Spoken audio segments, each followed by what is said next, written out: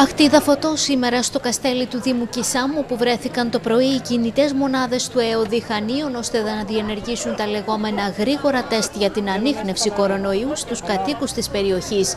Η συμμετοχή των πολιτών στα rapid tests ήταν μαζική, καθώς προσήλθαν ακόμα και μαθητές από σχολείο της περιοχής που το προηγούμενο διάστημα είχε εντοπιστεί θετικό κρούσμα. Από τα περίπου 480 δείγματα που ελήφθησαν, κανένα δεν βρέθηκε θετικό. Βεβαίως πρέπει να συμμετέχει ο κόσμος και είναι και όχι μόνο ε, απαραίτητο, είναι απαραίτητο να κάνουμε και όλοι το εμβόλιο. Σας ανησυχεί η αύξηση των κρουσμάτων. Πάρα πάρα πολύ. Πολύ με ανησυχεί. Είναι μια ανάγκη πιστεύω και ιδιαίτερα αυτό τον καιρό που το Καστέλι έχει στο σχολείο ένα κρούσμα. Θα πρέπει να είμαστε και προσεκτικοί και να είμαστε και σίγουροι ότι είμαστε καλά. Πώς αλλιώς θα βρούμε άκρη αν δεν μάθουμε ποιοι έχουν το θέμα και να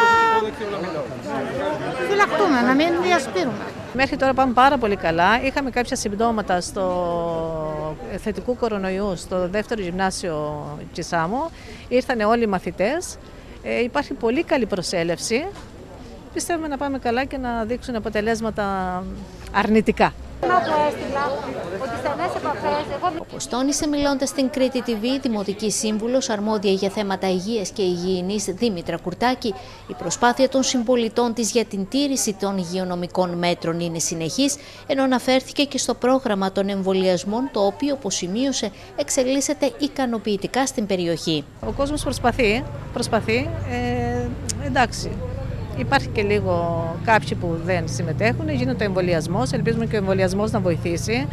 Επειδή δουλεύω και στο κέντρο υγείας, ε, υπάρχει μεγάλη προσέλευση και πιστεύω ότι θα βοηθήσει και ο εμβολιασμός. Ε, είναι καλό που γίνονται αυτά κατά, κατά τακτά διαστήματα για να ελέγχεται ο κόσμος, να, να αντιλαμβάνεται ο κόσμος τι γίνεται και όσοι δεν πιστεύουν και δεν προσέχουν, να προσέχουν ακόμα περισσότερο. Το επόμενο διάστημα, αντίστοιχα rapid test θα γίνουν και σε άλλες περιοχές του νομού Χανίων.